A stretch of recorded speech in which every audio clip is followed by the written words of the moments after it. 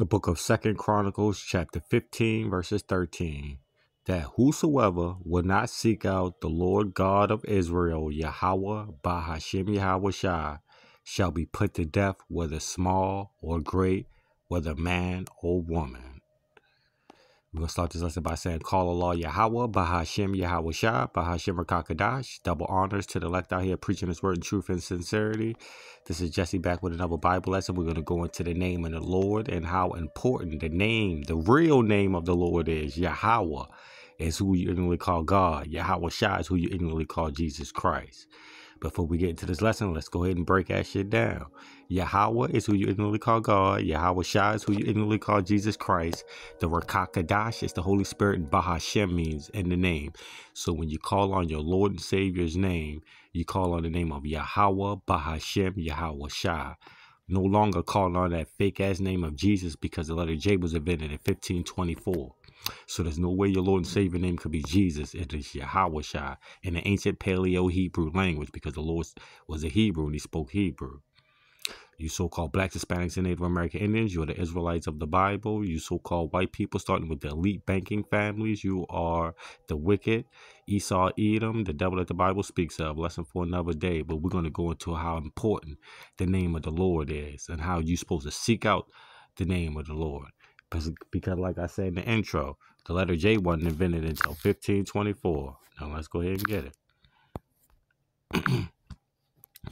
Whatever this dude name is, Gian Georgia Tricini, Tricino, or whatever, was the first to explicitly distinguish I and J as representing separate sounds in his whatever. But when was the letter J invented?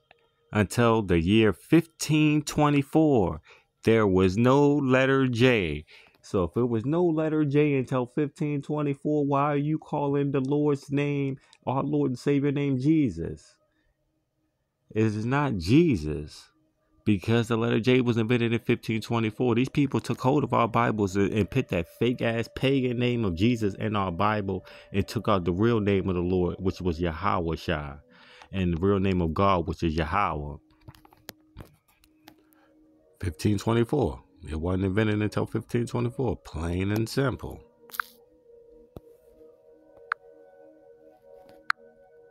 Check this out. The book of Malachi, chapter 1, verses 6. Says the Lord of hosts unto you, O priests, that despise my name. You guys know that his name is not Jesus. It is Yahweh in the ancient Paleo Hebrew language. And you Israelites out here that's calling on them fake ass pagan names of Yeshua and all them other names, his name is Yahweh You despise his name. That's why y'all won't use it. What was Jesus' original name? Like Google is going to really tell you the name of the Lord. Jesus' name in Hebrew was Yeshua.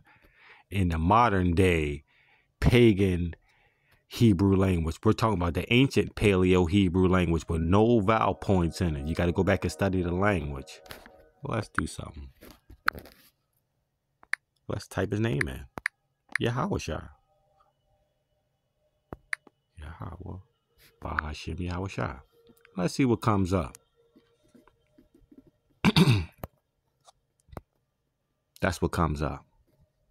A so-called black man. The Lord, our Lord and Savior name is Yahweh Ba'ashem. Our Lord and Savior name is Yahweh Shah.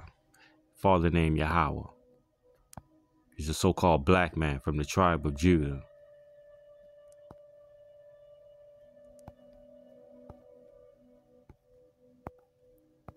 So when you call on that fake ass name of Jesus Christ, this is who you calling on. You're praying to a pagan god. This white dude. Who, who, who is this? Who is this dude? That does not sound like the biblical description that's in Revelation. Let's go and get it. I believe it's Revelations 1 to 14. Let me pull on my Bible app real quick.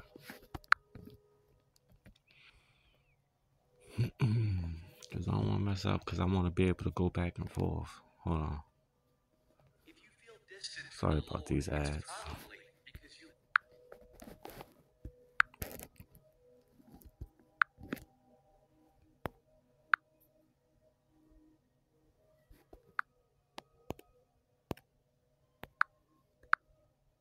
We start at one.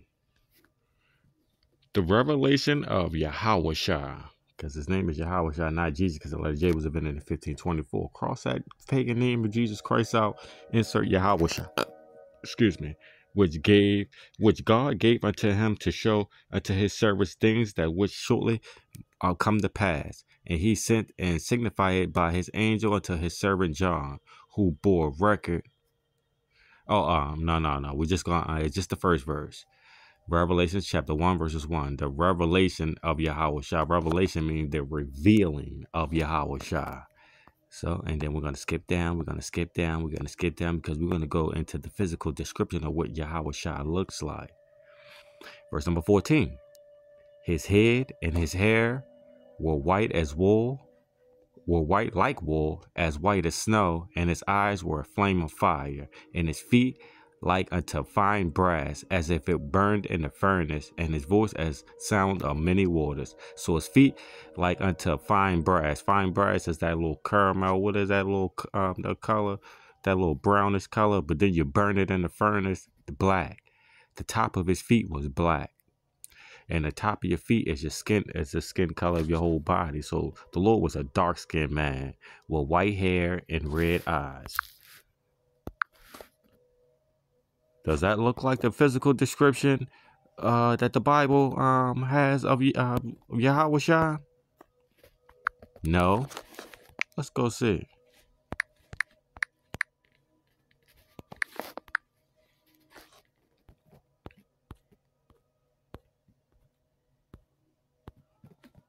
Now that's the biblical description of Yahweh. Red eyes, white wool hair. Only the Negroes, so-called blacks, got the white woolly hair. Come on, Leslie. We can get it. We can get it.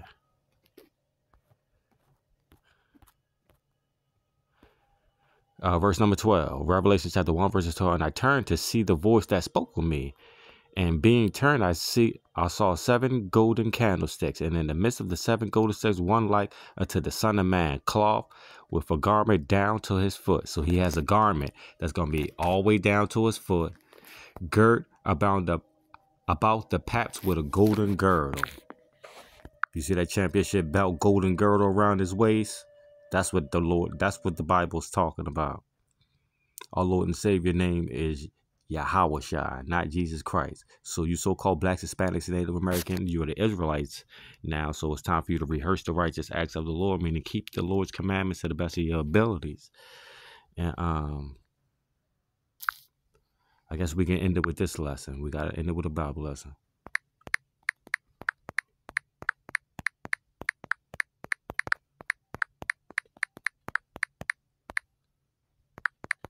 Something along those lines. We can end the lesson with this.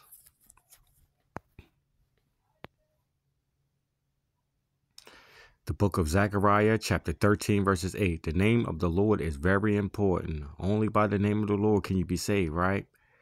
Zechariah chapter 13, verses 8. And it shall come to pass that in all the land, says the Lord, two thirds, two parts therein shall be cut off and die, but the third shall be left therein. These are this is going into you Israelites. Two thirds of you going to be cut off.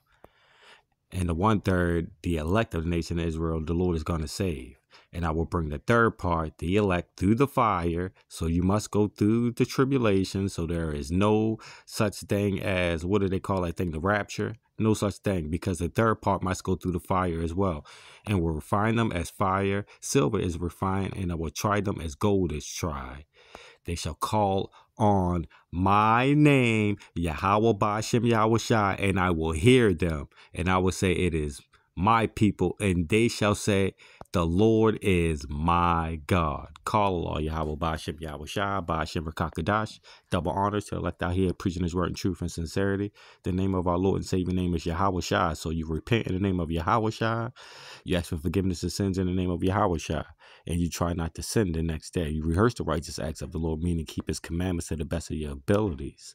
And when you do fail, because you will fail, because only one's perfect is Yahweh Shah, you ask for forgiveness of sins and you try not to sin again. And if you're able bodied man, you're supposed to be teaching his word in truth and sincerity. All praises, and honor, and glory to Yahweh by Shem Yahweh Shai. On to the next lesson, baby.